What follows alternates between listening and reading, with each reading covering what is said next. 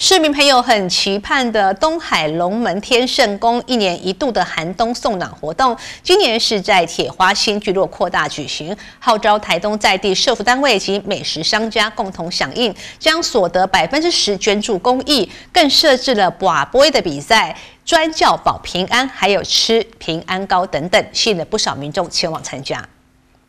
宝贝钻教底吃平安糕，为的就是在新的一年祈求妈祖保佑平安。一年一度的东海龙门天圣宫寒冬送暖活动，今年度选择在铁花新聚落扩大办理，号召台东社福单位及知名商家共同响应，当日也捐出所得的百分之十进行公益。一年一度我们东海龙门天圣宫办的那个岁末送暖的一个爱心活动，活动非常的多元，而且非常的丰富。那有包含就是我们现在看到的妈祖的那个。轿子都出来了哈，就是大家弄给他，然后有吃平安糕的一个活动，不限名额，人人皆可保杯，只要保出一个圣杯就可参加决赛。主办方推出保杯拿奖金大赛，更在现场提供民众人叫脚送平安糕等活动，吸引老中青三代皆来同乐。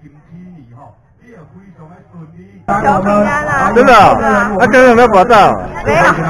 拿到是吧？平安糕。爱你爱你，岁末送暖，母爱园市集活动，主办方天圣宫针对弱势家庭提供爱心购物原油券，现场出有台东特色料理、传统糕饼，更有 DIY 体验及义诊等多项服务。东海龙门天圣宫公主也相当感谢相关单位的投入与协助。一站式购足的暖心市集与多元活动，就是要祝福每个家庭都能获得妈祖庇佑，过好年。二零二零是东海龙门天圣宫四十周年的公庆，后续也将推出一系列活动，敬请民众拭目以待。